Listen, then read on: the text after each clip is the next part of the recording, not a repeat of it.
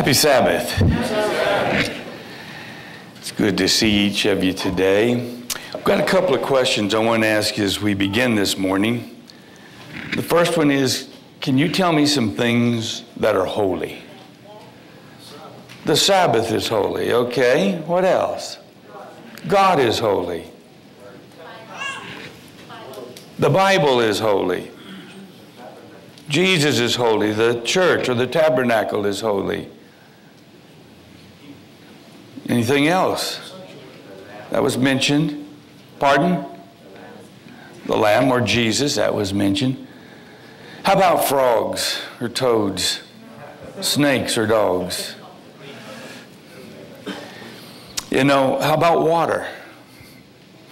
Reason I'm saying that is uh, when I was living in Chicago, Every year, the Archbishop of Chicago would come out and people would bring their rats, bats, snakes, dogs, cats, whatever animal they had, and they would be lined up for blocks and blocks so that they could be sprinkled with holy water.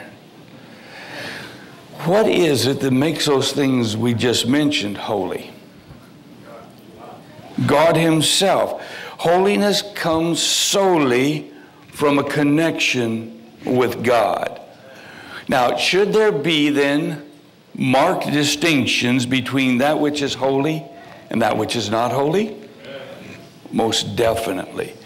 And I want you to see today, as we go back to the book of Leviticus, what happens when we lose sight of that um, distinction between the holy and the unholy, between the sacred and the secular. In the book of Leviticus, let's go to the 10th chapter of Leviticus this morning. Leviticus chapter 10, and I'm going to begin with verse 1 of this chapter. It's an interesting account here of two men who knew but refused to do. It says, And Nadab and Abihu, the sons of Aaron took either of them his censer and put fire therein and put incense thereon and offered strange fire before the Lord, which he commanded them not. And there went out fire from the Lord and devoured them, and they died before the Lord. Then Moses said unto Aaron, This is that the Lord spake, saying, I will be sanctified in them that come nigh me, and before all the people will I be glorified. And Aaron held his peace. Next to Moses and Aaron, these two men, the sons of Aaron, Nadab and Abihu, had the highest positions in Israel. They were the sons of the high priest. They ministered in the sanctuary of God. They had been especially honored by the Lord, having been permitted, along with the 70 elders, to behold the glory of God on the mount. But their, trans- their transgression here was not to be excused or lightly regarded. All these high privileges that they had rendered their sin far more grievous. You see, because men have great light, because they have, like the princes of Israel, ascended to the mount and been privileged to have communion with God and to dwell in the light of his glory, let these folk not flatter themselves that they can afterwards sin with impunity. That because they have been so honored, God will not be strict to punish their iniquity. This is a fatal deception to think that because of the blessings you have in the Lord, it will allow you to do things that the Lord has forbidden to do. The great light and privileges bestowed, my friends, upon individuals requires returns of virtue and holiness corresponding to the light that is given. And anything short of this, God will not accept. Great blessings or privileges should never lull one to security or carelessness. They should never give license to sin or cause the recipients to feel that God will not be exact with them. God is a very particular God. And Nadab and Abihu would never have committed this fatal sin had they not first become intoxicated.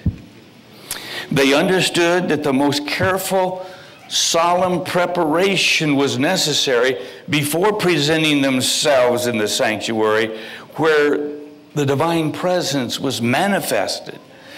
But by intemperance, they were disqualified now for their holy office. Their minds had become confounded and confused, and their moral perceptions had become dulled so that they could not discern between the difference between the sacred and the common. Now, these sons of Aaron had not in their youth been trained in self control. There was the first big problem in their lives, just as we saw with Eli's sons. They had not been raised in habits of self control and habits of self indulgence now, being long cherished, obtained a hold upon these young men, which even the responsibility of the most sacred office did not have the power to break. You see, they had not been taught to respect the authority of their father, and they did not realize the necessity of exact obedience to the requirements of God. And so Aaron's mistaken indulgence of his sons prepared them to become the subjects of divine judgment.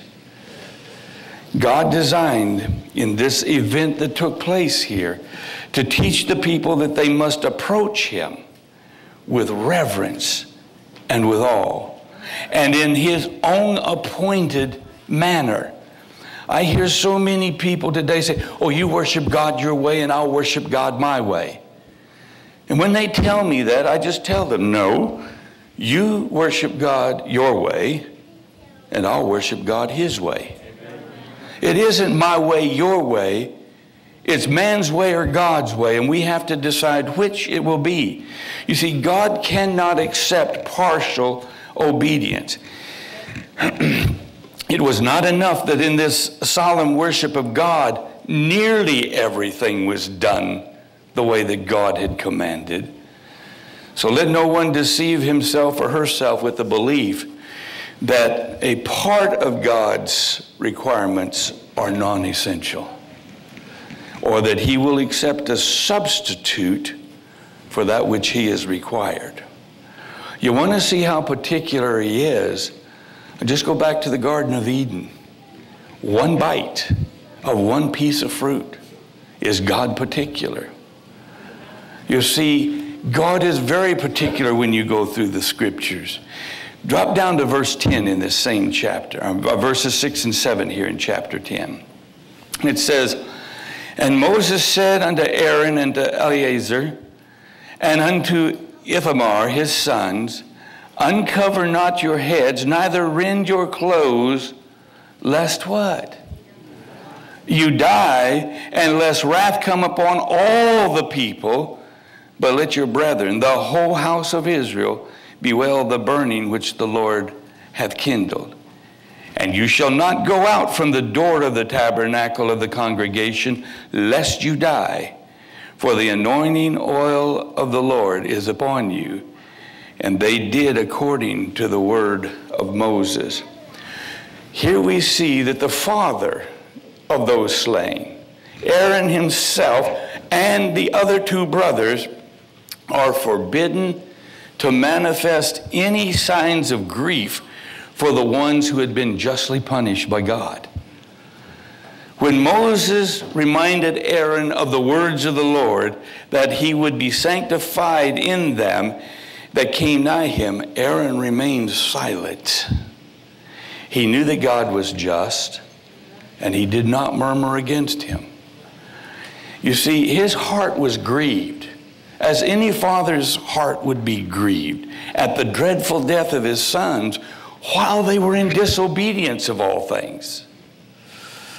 Yet, according to God's command, he made no expression of sorrow, lest by doing so he should share the same fate as his sons, and the congregation also be infected with the spirit of unreconciliation, and God's wrath would come upon all of Israel. For Aaron to have shown signs of grief would have been to sympathize with his sons against the judgments of God. You see, when the Israelites committed sin and God punished them for their transgression, and the people mourned for the fate of the one punished, instead of sorrowing because God had been dishonored, the sympathizers were accounted equally guilty with the transgressor.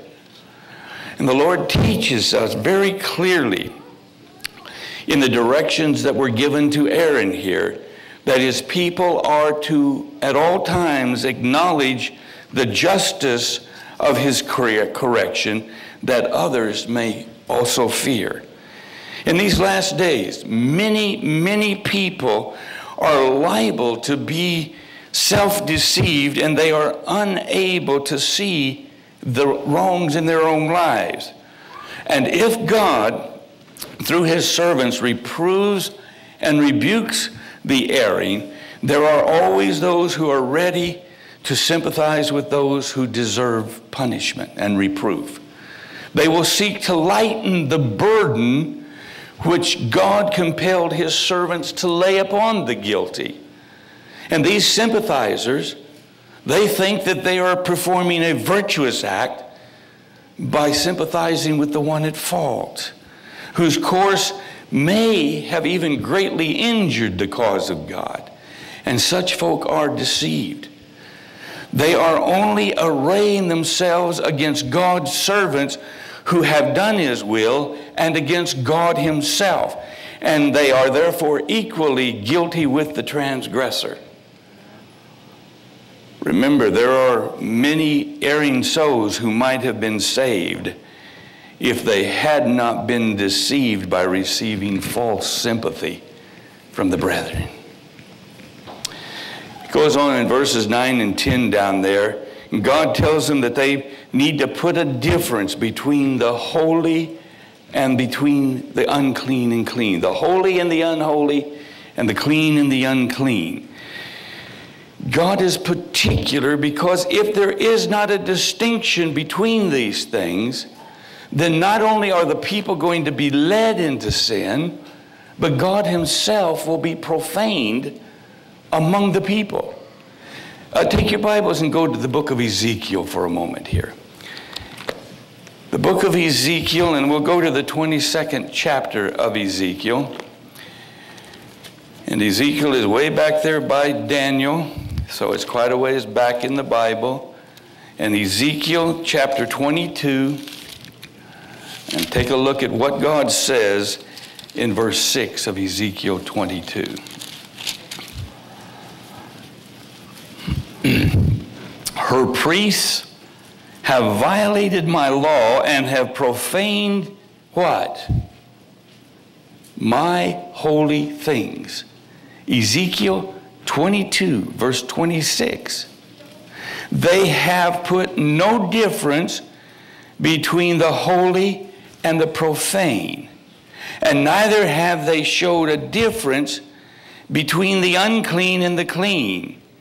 And they have hid their eyes from my Sabbaths, and I am what? I am profaned among them. You see how clear this is? When we do not make that marked distinction and live within those distinctions and be willing to follow God, we profane His holy name. And we'll look at more of this in a week or two here. You see, in Isaiah, the scripture reading this morning from Isaiah 6, and, and uh, I was amazed that, that that was the one that Brett chose this morning. Brett chose our scripture reading, and and I want you to go back to that passage, Isaiah, the sixth chapter, this morning. and I want you to see what God says here about Himself. Isaiah, the sixth chapter, and starting with verse 1. Isaiah 6 1. In the year that King Uzziah died, I saw also the Lord sitting upon a throne, high and lifted up, and his train filled the temple. You see, in that year of the king, the prophet Isaiah was given a view right into the most holy place of the heavenly sanctuary. He sees God on the throne. He sees the temple filled with all of the glory of God. And then it goes on in verse 3. It's talking about these angels that are talking to one another, and one cried unto another and said, Holy, holy, holy is the Lord of hosts. The whole earth is full of his glory. You know, when Isaiah saw that, he later says, Woe am I, for I am undone. This is down in verse 5. Because I am a man of unclean lips, and I dwell in the midst of a people of unclean lips, for mine eyes have seen the King, the Lord of hosts. As Isaiah beheld this revelation of the glory and majesty of his Lord, he was overwhelmed by the sense of his purity and holiness. God, so pure and holy on that throne, and how sharp the contrast between the matchless perfection of God, of the creator of heaven and earth, and the sinful course of those who, with himself, had long been numbered among the chosen people of Israel and Judah. Woe is me! I'm undone because I am a man of unclean lips, and I dwell in the midst of a people of unclean lips. But nevertheless, my eyes have seen the King, the Lord of hosts. He had such an overwhelming understanding of the holiness of God there. But people today have no true conception of God's holiness, of the exceeding sinfulness of their own hearts, and their utter inability in themselves to render obedience to God's will and in need of a server, Savior. All of these things people must be taught. They must come to see that they and God are different. He is holy. He wants us to be holy. He calls us into a, a whole different way of viewing Him and ourselves. But what faint, faint views most of us have of His holiness. How much today God's people take His holy and reverend name in vain without realizing that it is God, the great and terrible God, of whom they are speaking in their conversations. Even while praying, Many use careless and irreverent expressions which grieve the tender spirit of the Lord and cause their petitions to be shut out of heaven.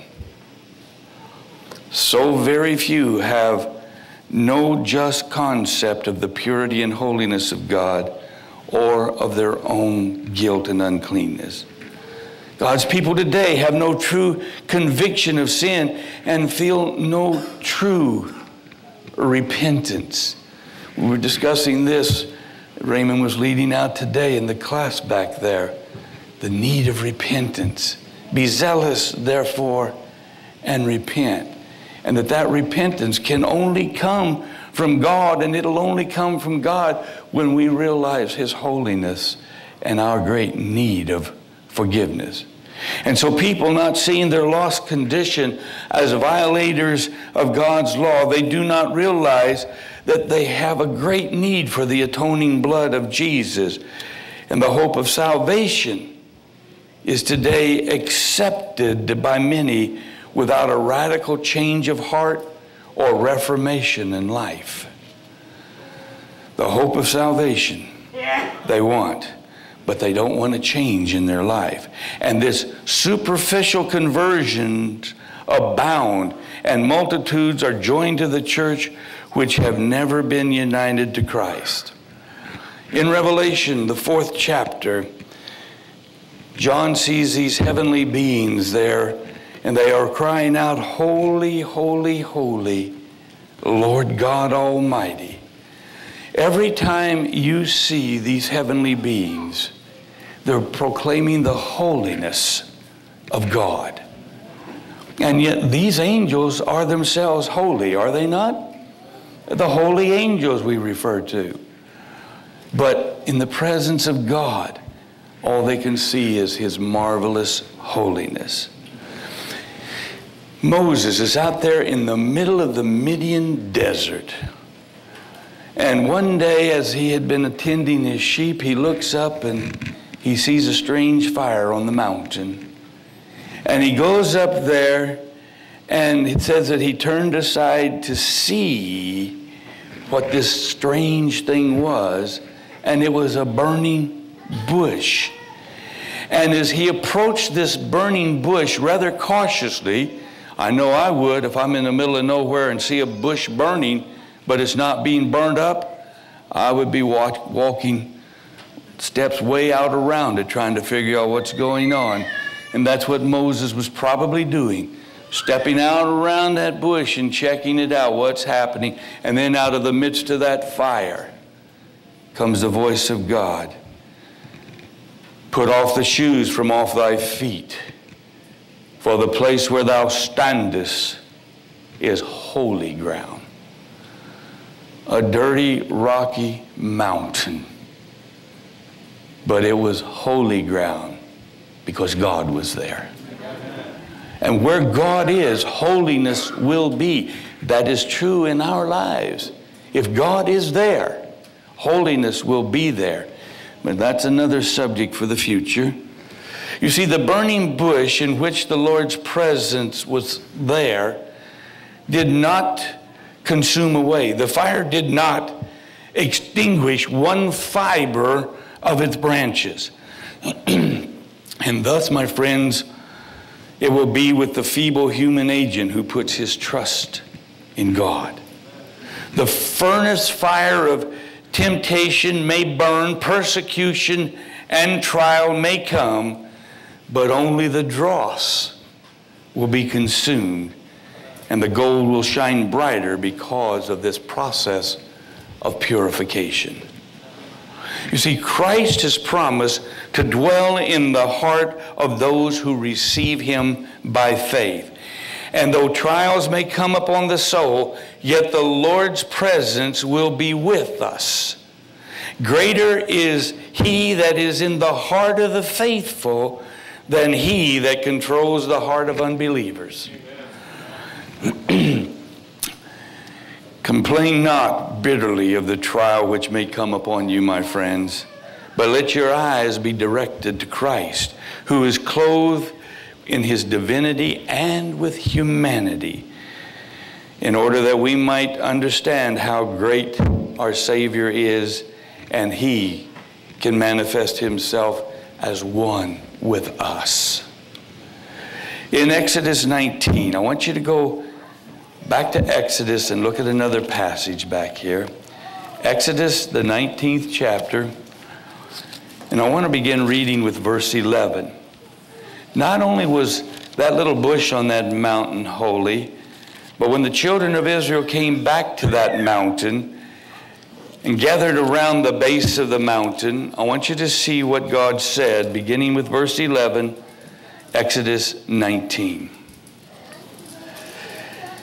And be ready against the third day, for the third day the Lord will come down in the sight of all the people upon Mount Sinai. And thou shalt set bounds unto the people round about, saying, Take heed to yourselves that ye go not up into the mount or touch the border of it. You see that? Whosoever touches the mount shall be surely put to death. There shall not an hand touch it, but he shall surely be stoned or, slot, or shot through whether it be beast or man, it shall not live when the trumpet sounds long, and they shall come up to the mount. Everything connected with God was holy. His presence made that whole mountain holy now. And you couldn't even come up to the border of it without dying. Was God particular? Was God particular when He said not one person should put their hand on the ark? And others that thought, oh, I'm going to save it from falling. Even though his intentions may have been good, his action was fatal. God is very particular. And there in that wilderness, God had to make him a sanctuary. And everything in that sanctuary, including the very apparel and deportment of the priest, was to be such an as to impress the beholder with a sense of the holiness of God and the sacredness of his worship and the purity that is required of those who come into his presence. This is important that we understand this, friends. The purity and the holiness of God is the great subject which must be awakened in our hearts to the sense of bringing about a true conversion experience. While on the one hand, danger lurks for the people of God in a narrow philosophy and a hard, cold rule of orthodoxy. In other words, legalism. Danger lurks there in legalism, but on the other hand, there is great danger in the careless, impure liberalism that is so rampant today. When we approach God, we must always do so realizing that God is holy. And wherever He's at, and that is within the confines of this wall, He's not locked up in this building, but He is present with us through His Spirit. Thus, this building becomes holy. A while back, I was talking to some of the young people that were here because one evening there was a lot of noise coming from out there. So much noise that I was surprised that so few people could make that much noise. As I came out of that room going around that way, the further I walked, the more I imagined it being like the golden calf with all of the noise and laughing and carrying on. And there was just very few of them. And I asked them simply, Do you know where you're at? Do we know where we're at when we're in the house of God? Jesus, and we'll talk about this later, cleansed the temple two times at the beginning and the ending of his ministry. And when he cleansed the temple, remember this, it was the outer court that he cleansed. So the whole confines of this building is sacred. And we must remember that when it comes to, to all of the noise and the running and the things that not only we ourselves do, but we allow our children to do. Even in church, and Vacation Bible School here a few years ago. Every time, and they had some of the meetings in here, and every single time the teacher would keep prompting the kids until they were screaming as loud as they could. In this room here, we should speak with subdued tones. We don't try to see how loud we can get. And if we can't hear the children, then perhaps I can direct you to a place where you can get a good deal on hearing aids. Because my hearing is not the greatest, and I can always hear these kids. And sometimes I just know what my grandparents were talking about when they used to tell me children are meant to be seen and not heard. They can be the sweetest little things to look at. But remember, within the confines of God's church, holiness unto the Lord should be our motto. Our closing hymn this morning is number 73 Holy, holy, holy. Number 70.